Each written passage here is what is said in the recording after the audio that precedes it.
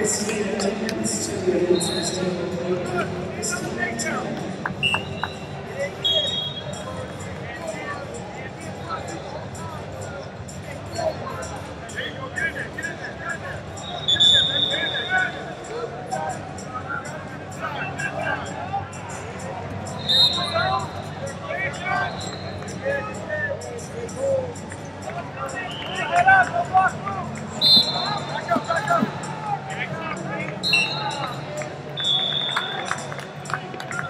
Thank you.